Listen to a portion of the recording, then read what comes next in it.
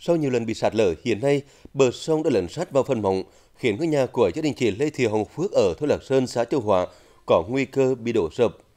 Để bảo vệ ngôi nhà, gia đình chị Phước đã đầu tư hàng trăm triệu đồng xây kè chống sạt lở.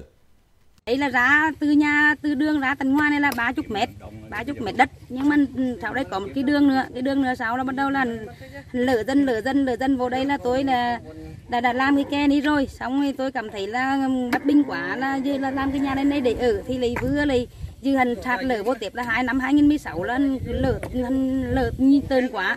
Là tôi cũng hoảng quá. Bắt đầu tôi cũng nói chung vay mượn để mà làm cái kè này tiếp tục để mà giữ cái nhà cái mà lở cái nhà này nè. Sắp nữa là mẹ con không có ở.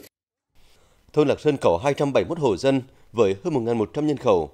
Trong đó có gần 60 hộ sinh sống sát bờ sông Danh từ năm 2007 đến nay thôn Lạc Sơn mất khoảng 16,5 ha đất canh tác do sạt lở bờ sông nguy hiểm hơn nơi ở của hàng chục hộ dân cũng không còn được an toàn khi tình trạng sạt lở ngày càng lấn sát vào nhà.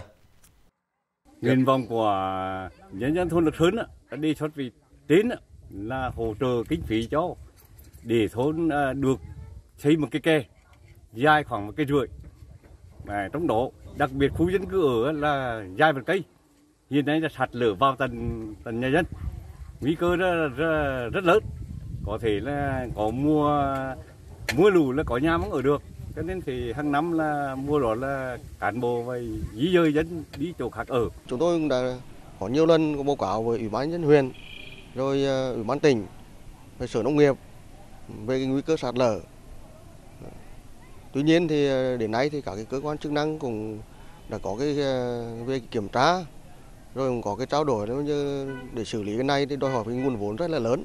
Do đó với cái tâm của huyện rồi các sở ngành thì cũng chưa có thể là ờ, triển khai ngay được. Mong muốn của người dân thôn Lạc Sơn và chính quyền địa phương về một tuyến kè chống sạt lở là hết sức chính đáng. Tuy nhiên, để xây dựng được tuyến kè này rất cần sự quan tâm hỗ trợ của cả cấp các ngành và toàn xã hội.